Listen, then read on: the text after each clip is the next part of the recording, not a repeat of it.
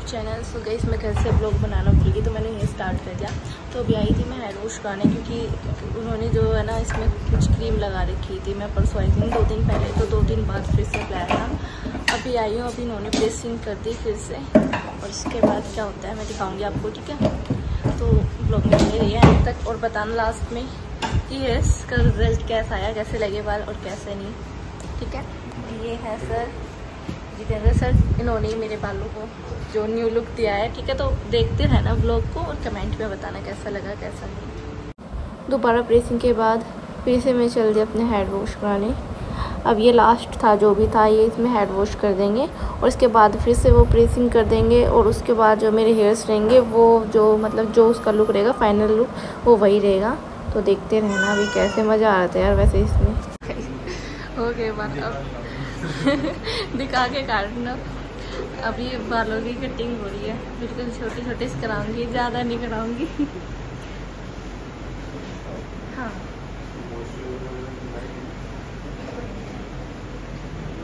हाँ बिल और छोटे। ठीक है इतने कर इतने ही काटने इससे ज़्यादा नहीं काटने।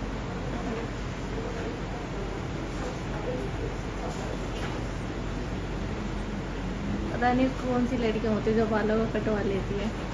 यहाँ ये चार छोटे छोटे से बाल कटवाने में भी दुख हो रहा है। कटे? बड़ी जल्दी कटे।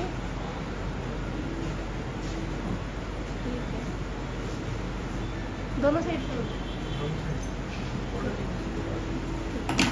तो गई ये है फाइनल रिज़ल्ट तो देख लो तुम कैसे लगे रहे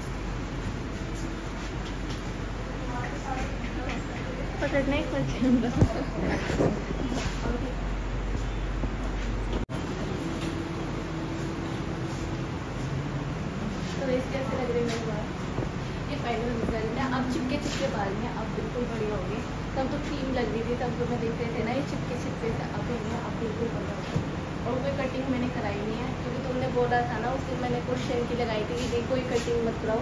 तो इसलिए मैंने तुम्हारा कहना मान लिया, कोई कटिंग नहीं कराई। जैसे थे वैसे ही है। तो बताना कैसे लगे तो कैसे नहीं ये हो गया है जो भी, ठीक है, हमने वीडियो भी बना ली और अब मैं यहाँ से जा रही हूँ। अब पुलिस में वीडियो बनाऊँगी, इधर तो बनेगी। तो आना आप ज़रूर, ठीक है, मैं तो यही कहूँगी बार बार कि ज़रूर आना, यहाँ पर बहुत ही अच्छे है तो मेरे को तो अच्छे लग रहे हैं। वीडियोस में देखना अभी अंदर तो इतनी अच्छी वीडियोस नहीं बनती जितनी बाहर बनती है अभी बाहर दिखाऊँगी वीडियो बनाकर। मैं घर पर आ गई इसकी ड्रेस लेके आई थी। आयशा? आयशा? ओ हेलो आयशा?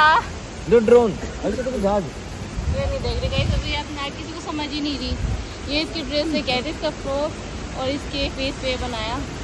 और ये ऐलान मॉल है देखो कितना प्यारा है। ये हमारे घर से बस पाँच दस मिनट की दूर है।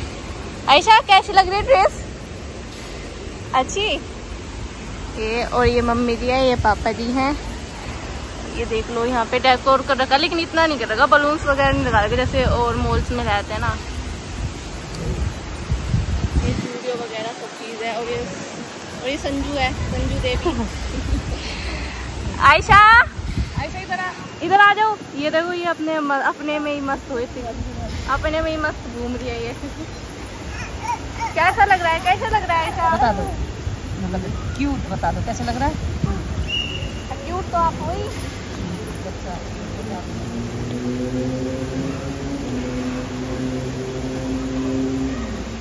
लड़की की देख रहे हो कैसे चल रही है इतना इतना के।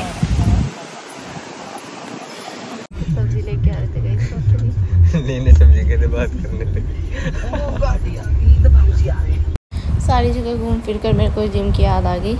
फिर जिम गई थी, वैसे तो थक गई थी बट जाना पड़ता है ना, वैसे सारी थकान दूर हो जाती है। एक बात तो है, जिम में जाके सॉन्ग बजते रहते हैं अपना करते रहते हैं मन सा लग जाता है घर में बोर रहते हैं उससे तो ठीक ही है ये। शिवानी थी और ये देख लो पंद्रह अगस्त की वजह से इंडिपेंडेंस डे की वजह से पंद्रह तारीख को हमारी जिम क्लोज़ है उसके लिए इन्होंने लगा दिया था चिपका दिया था पहले ही ताकि हम देख लें क्योंकि कई बार हमें पता भी नहीं होता ना कि जिम कब ओपन है कब बंद है इसलिए इन्होंने पहले ही लगा दिया था इधर आज। आइसक्रीम खाने आए और इसे देखो ये तो भूखों की नज़र देखो चलो कोई नहीं ये कोई नहीं। खाड़ी भाई से। पैसे दे आप। कितने हुए?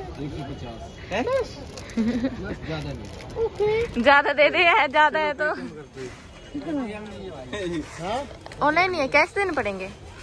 पकड़ फिर मैं। बता देती हूँ, मैंने अपने बालों में कराई थी स्मूथनिंग और मॉइस्चर थेरेपी क्योंकि स्मूथनिंग से तो बाल हो जाते हैं बिल्कुल बढ़िया सिल्की, जो तुम्हें दिख रही है ना, बढ़िया सिल्की सिल्की थी। और मॉइस्चर थेरेपी वो इसलिए कराई थी क्योंकि मेरे बाल है ना, बहुत ज़्यादा डैमेज हो रहे थे मतलब फ्रिजी फ्रिजी टाइप के हो रहे थे और बहुत ज़्यादा टूट भी रहे थे। तो इस चक्कर में फिर वो मॉइस्चर थेरेपी किया, उसकी वजह से ना ये ना टूटेंगे, ना कुछ, क्योंकि कैरेटिन और स्मूथनिंग तो मैंने इससे पहले कराई थी, दो बार दो बार मैं करा चुकी हूँ ऑलरेडी तो अब की बार मैंने स्मूथनिंग कराई है और मॉइस्चर थेरेपी कराई है, जिससे मेरे बाल जैसे हैं ऐसे ही रहेंगे और काफ़ी टाइम तक रहेंगे। और बाकी यार अपने ऊपर है, कितनी केयर की जाती है, बालों की जितनी केयर करेंगे ना, जितने अच्छे से रखेंगे, उतने बाल अच्छे रहेंगे। और मतलब ज़्यादा बोन मतलब बालों में ना तो ज़्यादा रबड़ फ्लैक्चर वगैरह इस तरह से ज़्यादा ना रखो। ओपन रखो, अगर हाँ अगर तुम्हें ओपन नहीं रखे जाते तो वो जो रबड़ आते हैं ना, वैसे आते हैं पतले पतले से, जो ज़्यादा टाइट नहीं होते, हल्के से होते, वो रबड़ बैंड लगा लो फिर हल्का सा क्रैक्चर लगा लो, ऐसे रखोगे तो तुम्हारे जो हेयर्स हैं ना, वो लॉन्ग टाइम तक मतलब ऐसे ही रहेंगे, बढ़िया रहेंगे। और बालों में कम से कम चार पाँच महीने तो ना ऑयलिंग करनी है और ना कोई अलग कोई शैम्पू यूज़ कर करना है जो वो शैम्पू बताते हैं जहाँ पर भी जहाँ भी आप कराते हो मतलब अपने बालों के जो शैम्पू बताते हैं वही यूज़ करो क्योंकि वही तुम्हारे लिए उस टाइम पर अच्छा रहेगा। तो आपको कैसे लगे मेरे हेयर्स कमेंट में ज़रूर बताना। और ये आ गया मेरा भाई शेर। शेर चीता। तो हाँ खिचड़ी बन गई।